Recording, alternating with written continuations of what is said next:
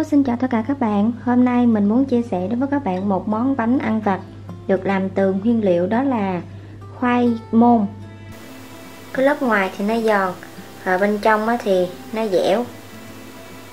Đó. Nóng quá. Đây mình cho các bạn Nhìn ở phía bên trong bánh ha.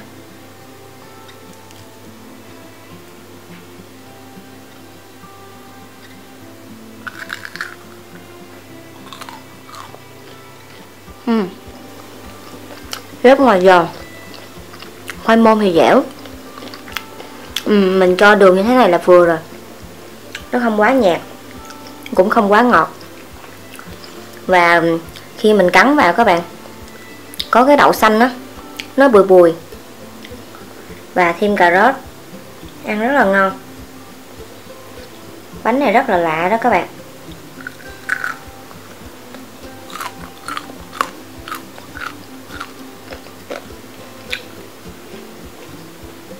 Rồi hôm nay là mình à, sử dụng là 200g à, khoai môn. Rồi đây là 50g đậu xanh. Mình đã ngâm ở trong nước để cho nó mềm á Một chút nữa mình đi luộc hoặc là mình hấp á, thì nó cũng sẽ nhanh chín hơn. Và một củ cà rốt nhỏ khoảng 70g Tiếp theo các bạn sẽ chuẩn bị cho mình Ở đây là 30g bột mì.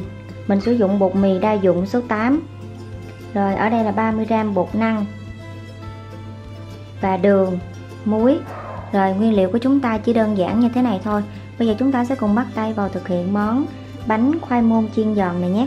Đầu tiên thì chúng ta sẽ đi luộc chín khoai môn. Rồi trong thời gian chờ cho khoai chín thì à, bây giờ mình sẽ đi bào mỏng. Mình sẽ đi bào bào à, cà rốt. Các bạn có thể là bào hoặc là mình băm nhuyễn luôn cũng được nha. Rồi khi à, khoai môn đã chín Bây giờ thì các bạn sẽ đi luộc chín đậu xanh. Rồi, đây là khoai môn. Sau khi mình đã bóc vỏ xong á, Trong thời gian mình chờ cho đậu xanh nó chín Thì ở đây mình sẽ dùng một cái nĩa như thế này để mình tán nhuyễn khoai.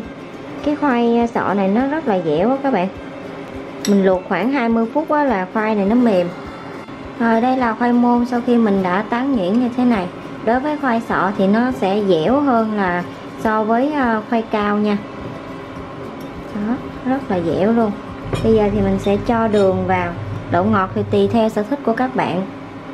Mình thích ngọt nhiều thì mình sẽ cho đường nhiều. Ở đây mình sẽ cho 3 muỗng canh đường. Rồi cho vào đây nửa muỗng cà phê muối. Rồi mình cho 30g bột mì 30g bột năng. Mình trộn đều lên. Lúc này các bạn có thể là mang bao tay vào mình trộn cho nó dễ nha lúc này các bạn nhận thấy là khoai nó hơi khô. Các bạn có thể là cho thêm sữa tươi hoặc là cho nước lọc vào. Mình cho từ từ. Và mình nhồi đến khi nào bột nó trở thành cái khói dẻo mịn là được. Nhớ là cho nước từ từ thôi nha các bạn. Rồi sau khi khoai đã trở thành một cái khói dẻo mịn như thế này. Đó, rất là dẻo. Bây giờ mình sẽ cho cà rốt vào. Rồi cho luôn đậu xanh sau khi đã luộc chín vào bây giờ các bạn sẽ nhồi lại một lần nữa nha.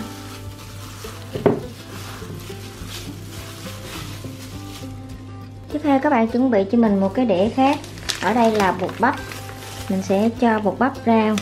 Ngoài cái đĩa này để mình à, áo ở bên ngoài, bánh khoai môn. Về lượng bột bắp thì mình không cần phải cân chính xác nha. Mình chỉ để áo bánh thôi. Rồi đây là khoai môn mình đã nhồi cho nó trở thành một cái à, khối dẻo mịn như thế này giờ các bạn sẽ bắt viên nha. To hay nhỏ là tùy. Nó hơi dính tay các bạn. Rồi sau đó thì các bạn sẽ lăn qua một bắp. Vo cho nó hơi tròn tròn thế này. Rồi. tiếp tục như vậy mà các bạn sẽ làm hết lượng ờ, khoai môn còn lại nha. Các bạn cho đầu đũa vào và các bạn thấy là đầu đũa bắt đầu vừa hay sủi bọt lên như thế này.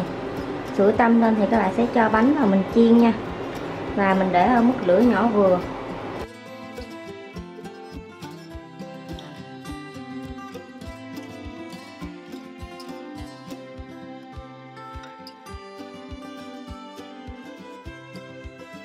Rồi lúc này các bạn thấy là bánh khoai môn của mình nó đã bắt đầu chuyển vàng như thế này.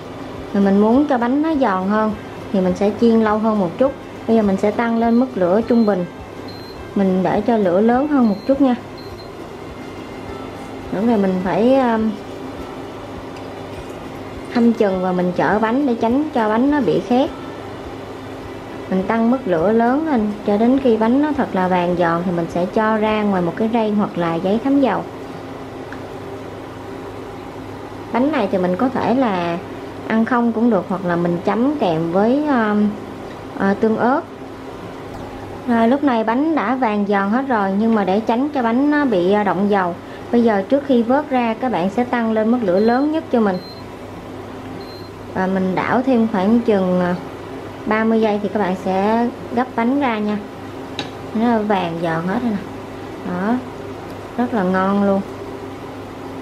Rồi được rồi bây giờ mình sẽ gấp bánh ra nha các bạn. Đây là thành phẩm của chúng ta. Như vậy là chúng ta đã hoàn thành xong món bánh khoai môn. Rồi nếu như các bạn cảm thấy yêu thích món bánh này Thì đừng quên cho mình một like và đăng ký kênh để ủng hộ cho mình. Cũng như là chia sẻ cho thật nhiều bạn bè để biết thêm Một uh, món bánh ăn vặt này nữa nha. Rồi các bạn có thể là comment cho mình biết cảm nhận của các bạn Về món bánh của mình ngày hôm nay. Một lần nữa chúc các bạn thành công và ngon miệng. Hẹn gặp lại các bạn ở những món ăn ngon tiếp theo. Bye bye!